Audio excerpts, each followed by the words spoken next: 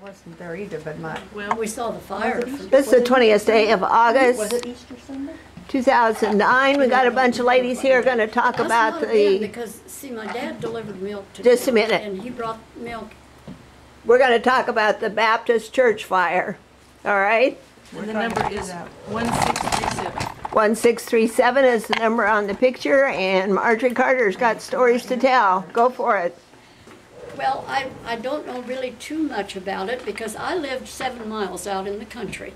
And uh, I can remember my dad took milk to town and we saw the fire, or the, the, the uh, smoke from home because we could see Blue Rapids. And anyway, when he came home, he said that the Baptist church had burned. And that is back, that is actually all I know about it. I would have been, it was in thirty-four? That's, I think you September said 16th. thirty-four.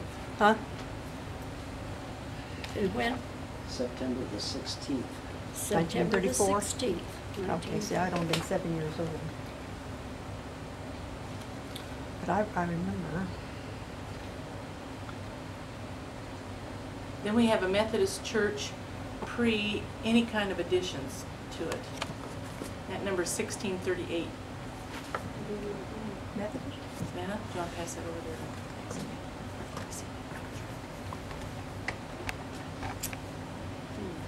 No discussion, we'll move on. Is that rock? I don't have any. Well, we're just scanning and giving it all back to you anyway. Like it doesn't. Well, are these a donation or are these to be scanned? Well, some of them I would just, You're not gossiping, ladies. You need to talk loud for the microphone on here, and I'd like to hear the Oh, Grant that's- Ewing bit again. the Here's a Grant water Ewing, power okay. dam, yeah. This Grant Ewing is sixteen Look at the forty-one. horse and buggy. And you guys could, When, Please talk louder about Grant Ewing for the camera. taken when? this is the number, photograph number sixteen forty-one. Oh, I thought you said it was a date, okay. we don't know the It- He's drilling, But he he's was a well drilling for driller. something, yeah, he was a well driller, so he's either drilling for water probably, I suppose. I imagine that's what he was, was uh, It for wouldn't be water. oil, it wouldn't be Uh-huh. oil, because you would Oh, have to have no. different kind of stuff for that. And Grant Ewing lived where? Down I do on not South know. Main, didn't he? Yeah, right there don't know. where we bought that house. Yeah, where Carol Kurtz lives. Mm-hmm. He had two, three lots there. And that fallen down barn in the back was his now, shop. John Ewing lived down in there too, didn't he, John Ewing? That was his brother. Now we have the num, the p- interior of the Episcopal Church and it's number sixteen forty-two. And they were talking about that also. Yeah, it, it was earth. bought, and I can't remember what church it was, uh, what did you think it was? Well, it was something Brethren. I don't know if it was United Brethren. A church, you I know, thought. built that And I meant. building, and they, I don't know how many years had services there, and then I guess their congregation just fell apart or something, and so they sold that to the Episcopal Church, but I don't know what year, it was sometime before the turn of the century, before the ninth, before the twentieth century.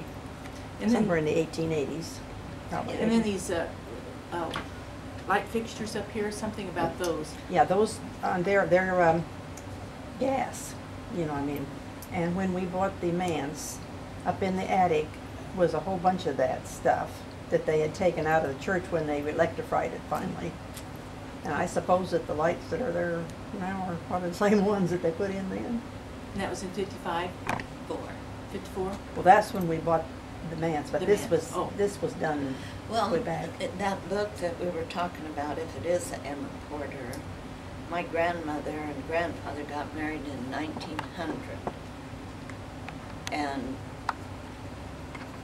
so she had to have written that after that, is what I'm Mhm, getting mhm, at. mhm. And she was talking about the, their belonging to whatever church other that church. was. Okay. So I'm presuming, It didn't happen then until like in nineteen something. yeah. Okay. Okay, and then we had, uh, That's another. we had that Gibson. gypsum, yeah. And you find out. Well, I don't, we don't, I don't believe we have one with all these guys. Ooh, in not that many. Let me No, see. okay. Uh-uh. I'll get that. Get the We'll number that on it? one. That's a That's been a sixteen, reprint, I believe. Yeah. Somebody- Mm-hmm. number sixteen forty-three. So does anybody recognize where that one? I bet it's that American one. That was making me wonder what was. Don't ask me why. But it feels kinda like it, huh? Is this one out south of town? The American? No, that's US Gypsum.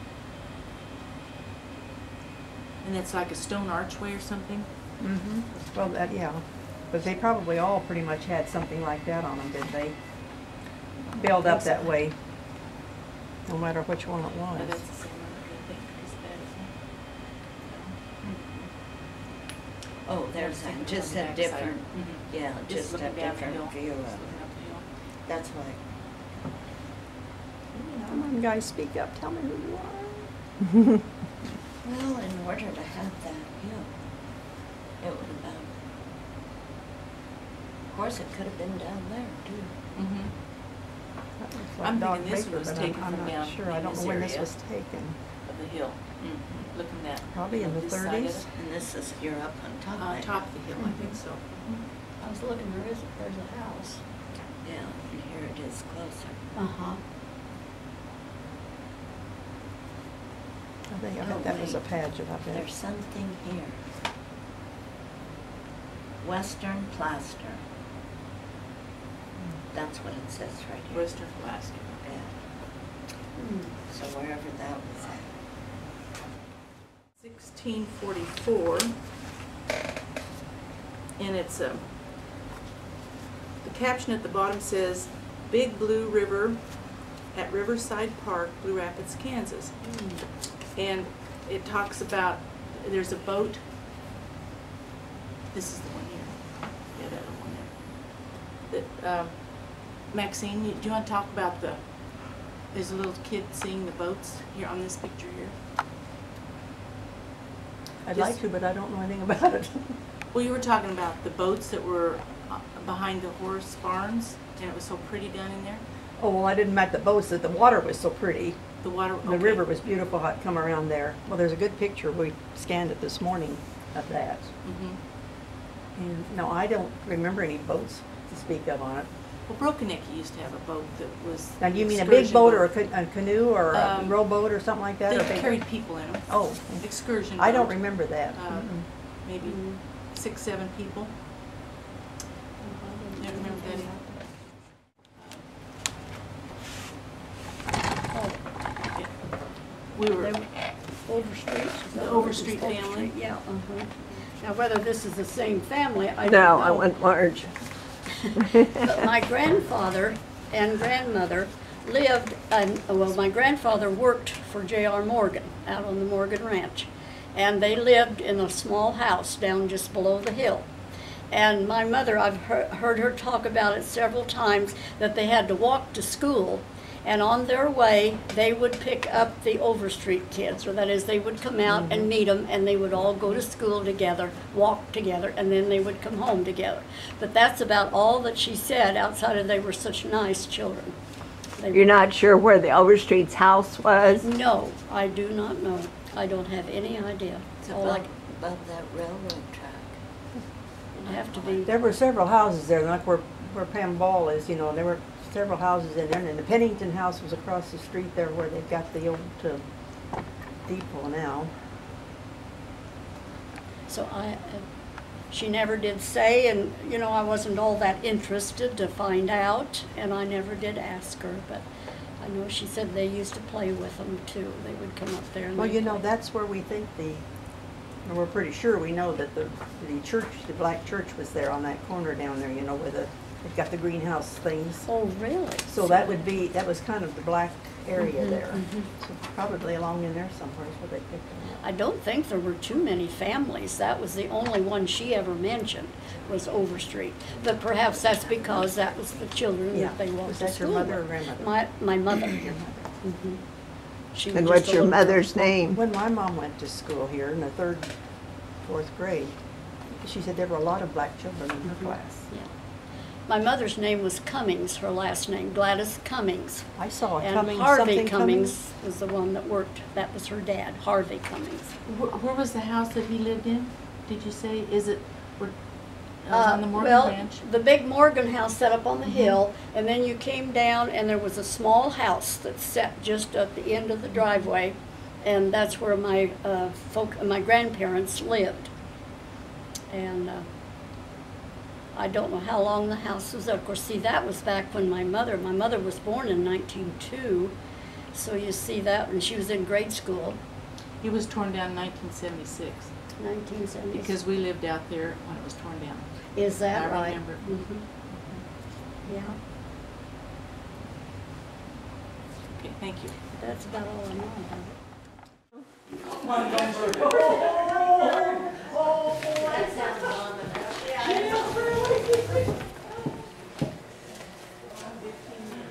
See, We got Marjorie Carter here on the 20th day of August of 2009, and she's looking through the White Way suitcase that uh, was donated by the Bigham family after Angeline's untimely choice to leave us. Marjorie thinks she's the only one left of the original or the older members of the White Way the Club original one. original one. Did you find the article about the date that it first started? Yeah, I don't know what to do with it. Is. Yes. It was organized in uh, May the 18th, 1922, and it gives the list of the charter members of the club. Uh, do you want them named? If you want to. Okay, well, there's not too many, but Okay. Mrs. Walter Bigham, Mrs. Tom Fincham, Miss Vida Fincham, Mrs. Will Fincham, Mrs. Albert Hopper, Mrs. John Nason, Mrs. Alfred Steiner, Mrs. Marion Summers, Mrs. Ed Watkins, Mrs. Rod Weeks, Mrs. James Wilson, Mrs. Joe Wilson, Miss Bessie Wilson, and Mrs. Charles Strange. That, they were the ones that were there. It was organized on May the 18th, and I was born May the 14th.